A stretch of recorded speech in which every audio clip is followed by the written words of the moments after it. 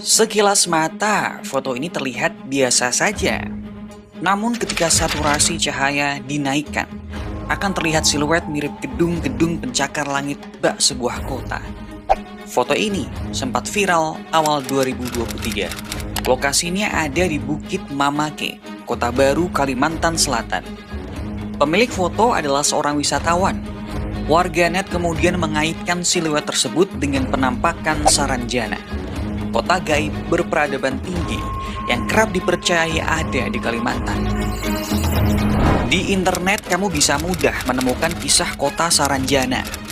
Ada kisah pesanan sejumlah alat berat dari Jakarta ke Saranjana pada 1980-an. Ada juga cerita orang-orang yang sempat hilang lalu mengaku tersesat di sebuah kota dengan peradaban maju. Atau kisah kurir yang mengaku mengantar paket dan sempat menginap di Saranjana. Lalu benarkah kota ini betul-betul ada?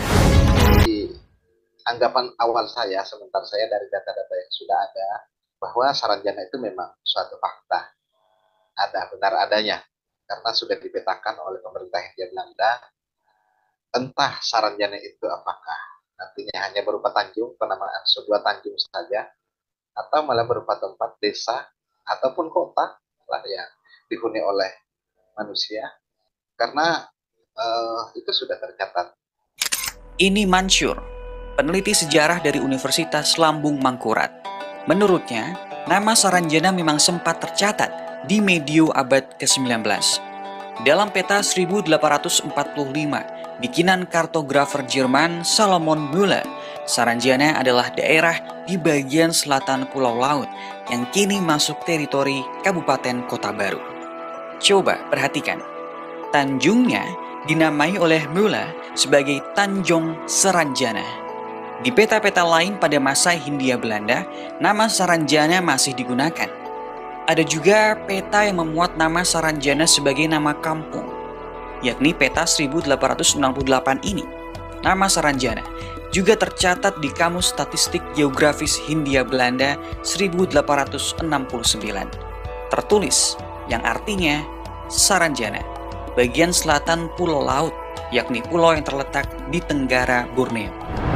Kalau sekarang lokasi Saranjana itu menjadi desa Oka-Oka. Sampai di sini, kita tahu Saranjana itu memang ada.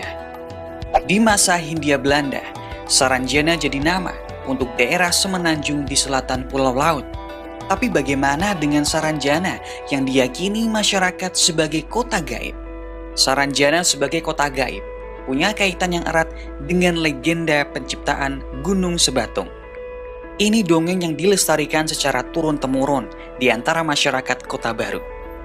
Konon, Pulau Laut merupakan daerah kekuasaan Kerajaan Halimun yang kala itu dipimpin oleh Raja Sakti Laksana Dewa bernama Raja Pakurindang. Sang raja punya dua anak yang sering bertikai, Sambu Ranjana dan Sambu Batu. Untuk menamaikan, Raja Pakurindang memberikan keduanya wilayah kekuasaan masing-masing. Sambu Batung itu alam manusia yang menjelma menjadi gunung Sabatu kalau Sambaranjana itulah yang kemudian membangun kota Saranjana di alam sebelah uh, dari nama Sambaranjana itulah kemudian berevolusi menjadi Saranjana. Selain dari dongeng masyarakat, asal muasal kisah Saranjana juga tercatat dalam sejarah. Pulau Laut pernah dikuasai seorang bangsawan Kesultanan Banjar, Pangeran Purabaya namanya. Purabaya mendapat pembagian tanah dari Sultan Banjar di Pulau Laut ia diduga adalah bangsawan awal yang mulai membangun kawasan ini. Hanya saja, Purabaya kemudian memberontak terhadap Kesultanan Banjar. Pemberontakannya pun berhasil ditumpas.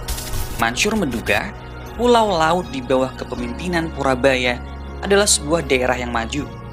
Mitos tentang Saranjana pada akhirnya menjadi memori kolektif atas tanah impian di Pulau Laut ini.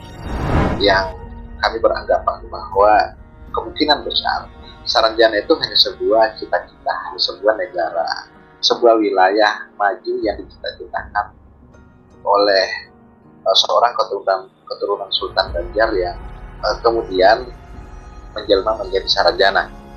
Ini serupa pandangan Profesor Studi Klasik James Rom tentang kisah Atlantis. Rom menganggap Atlantis sebagai kota imajinasi yang digunakan Plato untuk membayangkan masyarakat ideal dan dampak dari keserakahan. Sebenarnya hanya memori kolektif saja yang selalu dipelihara tentang impian-impian orang atau keturunan bangsawan yang pernah yang pertama kali membuka wilayah kita Pulau Laut.